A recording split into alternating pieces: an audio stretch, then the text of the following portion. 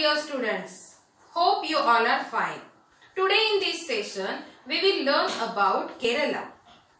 Do you remember in the last session, we have learned about Ladakh. So in this session, we will be learning about Kerala. So let's start. Kerala is a state in southwest corner of India. It is to the southeast direction and corner in India of India. Here you can see on the map. It is surrounded by the sea on one side. Okay. And hills are there on the other side. A number of spices like pepper, cloves, cardamom, which our mother uses in the kitchen, right? So these spices are grown on the hills.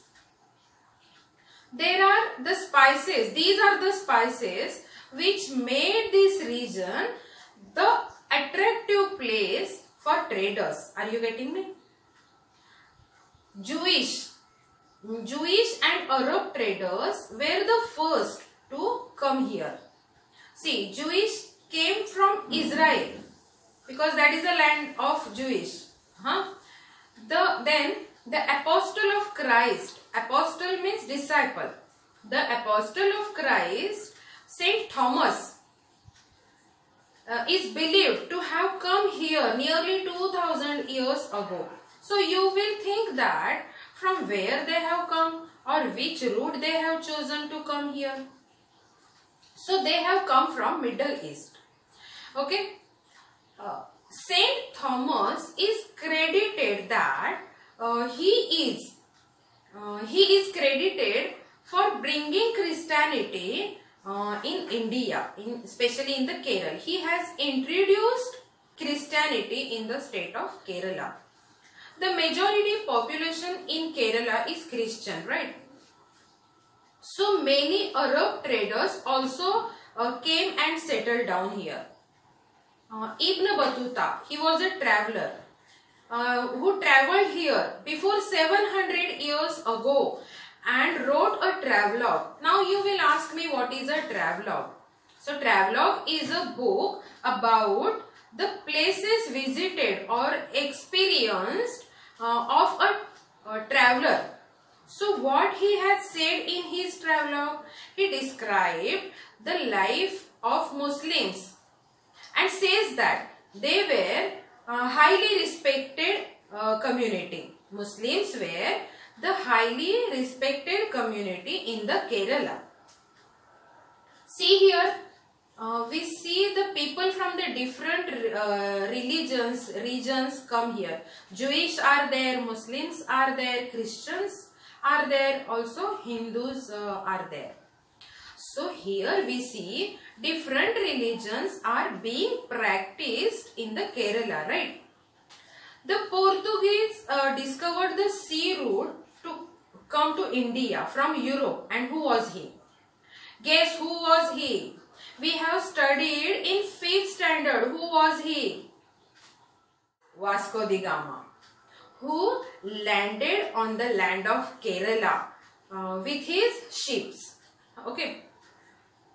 Uh, it is supposed that he discovered a new sea route, uh, India, via Cape of Good Hope. He reached to Calicut and started uh, trading in the region. As we know that Calicut was uh, a major producer uh, of spices. Vasco da Gama, he has gone the permission uh, to he has got the permission to carry on uh, the trade uh, in India. Are you getting me? So because of all these various historical influences, people in Kerala practice different religions such as uh, Judaism, means Jew people, Islam, uh, Christianity, Hinduism and Buddhism. See, Kerala uh, one side ocean is there. Okay. So people do occupation of fishing there as well as agriculture. This is the main occupation in Kerala.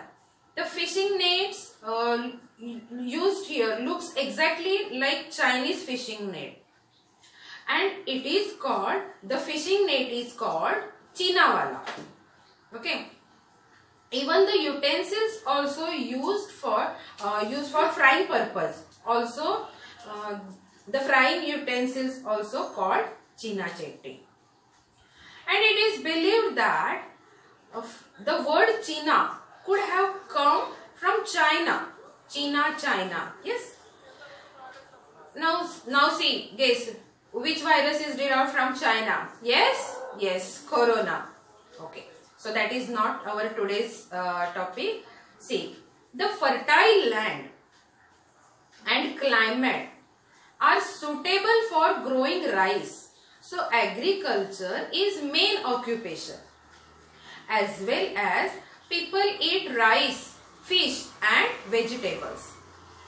People are producing rice and vegetables so they are eating as well as they are fishing so they eat fish also. They prefer the combination of rice and fish to consume or to eat. Okay. See next. Boat race. Boat race is an important uh, part of Onam festival. Boat race uh, locally known as Vallamkali. This boat race is thrilling to see as hundreds of men uh, row their snake boats head to head uh, with all their energy. This tradition is older than 400 years. The boat race uh, is conducted on the Onam festival which is the harvest festival in Kerala. Okay. So today what we have discussed uh, in the Kerala. First we have discussed the location, the food, living style, occupation. Okay. First we have discussed about Ladakh and Ladakh and Kerala. They both have uh, diversities. So in the next video, we will compare their diversities and see. Despite their diversities, they have some same characteristics. Okay. So that about we will learn in next video. Till that, stay home, stay safe. Bye.